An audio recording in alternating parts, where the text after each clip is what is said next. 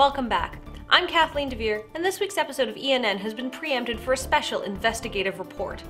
With last week's coup d'etat at Modern Warfare developer Infinity Ward, gamers have been left wondering what's next for this popular series. With more on this surprising story, here's Jeremy Petter.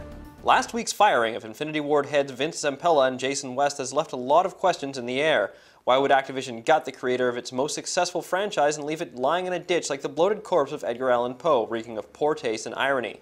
Industry analyst Ryan Quickbender. We may never know what truly went on here. Deals in this industry are usually so soaked in booze and coke that they become difficult to admit to court, and the fact that the contracts are tattooed on the asses of nubile hookers makes them difficult to track down. I'm not going to outright say that Activision CEO Bobby Kotick is the kind of guy who would kill a hooker to cover his tracks, but I mean, look at the guy. Needless to say, those contracts are long gone. We suspect that Infinity Ward was pissed that Activision let other companies make Call of Duty games, and that when they started making Modern Warfare, they made it a requirement that only they be allowed to develop sequels for it. If Activision wanted another Modern Warfare game but didn't want Infinity Ward involved, well, there's your smoking gun right there. A press statement released by Activision puts further Call of Duty development in the hands of Sledgehammer Studios, founded by another group of backstabbers formerly of Visceral Games.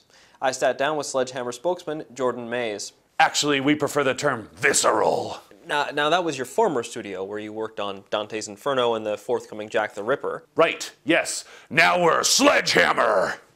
Right. Look, it's obvious Infinity Ward was on the right track with Modern Warfare 2. War on American soil, no Russian, gunning down civilians at an airport, pop, pop, pop, pop, pop, pop. Now that's how you sell a fucking video game.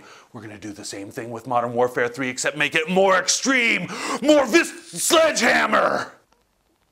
Which you plan to do how? The game's still a ways out, so I can't get into the really racy stuff. But you start the game as Barack Obama, and you're pissed. Your country's been invaded by terrorists, and you're not gonna take it lying down. Now you can pop their heads like grapes with your all-American ACAC, or just beat them to death with your Nobel Peace Prize. BAM! Then, reform healthcare by performing exploratory surgery on terrorist spines. Lower your cholesterol by using your intestines to slingshot grenades out of your abdomen! That is extreme. And get this that section ends with Obama crucified upside down by the terrorist leaders. You can use your trigger buttons to pull your hands off the stakes impaling them, and use the face buttons or Guitar Hero controller to hurl custom expletives at your opponents while crows peck out your eyes. Now that's this sledgehammer! Has Obama agreed to any of this? Well, not really. But there's enough photos of him on Google to make a pretty decent texture map of his face. And we got Nolan North to do the voice. He did that black guy on Halo 3 ODST, right? We just started work on the cinematics, and they're coming along really, really well. And uh, when can we expect this atrocity? We're launching November 11th, 2011. 11, 11, 11.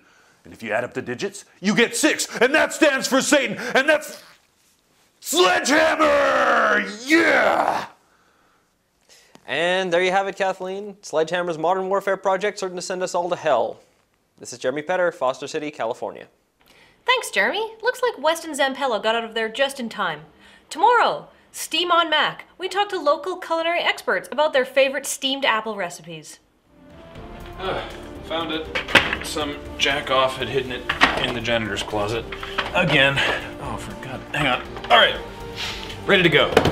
We already started. We already finished. What the hell? Why'd you let me put my makeup on? I like you in makeup.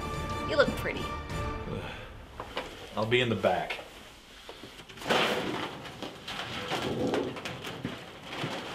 Cry, baby. I'm sorry, I can't hear you over how awesome it is back here.